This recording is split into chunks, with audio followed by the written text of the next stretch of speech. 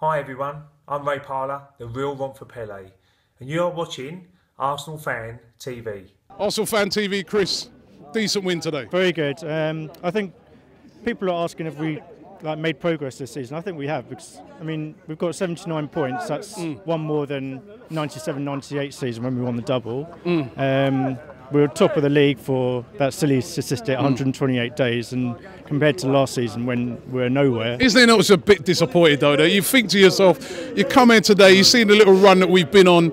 If we could only have got through some of them big games Mm. against Chelsea, that- you know, against Stoke, I mean, we'd have been we'd have been right there. Just to finish off what I was saying as well, I think our level of performance generally has improved and our players have improved, like Ramsey and Koscielny. But the one caveat I have to all of that is I also judge a team by their goal difference, and our goal difference is 20 something. We're on the same level as Everton and Man United. We're miles behind the likes of Liverpool and City, who are about 30 goals ahead. That needs to be addressed. And as you just said, Robbie, um, the big games and Stoke, we've been good against the lesser teams like Stoke, to be fair. That was a one off. But um, we need to sort out our approach to the away games against the bigger teams. I think the template we need to follow is not park the bus, but the Bayern Munich away performance, where I thought we played really intelligently. They're mm. arguably one, at the time they were the best team in Europe, and we defended very well in that game, and we also looked dangerous going forward. So we're sort of we're playing cautiously and with the attacking intent. And that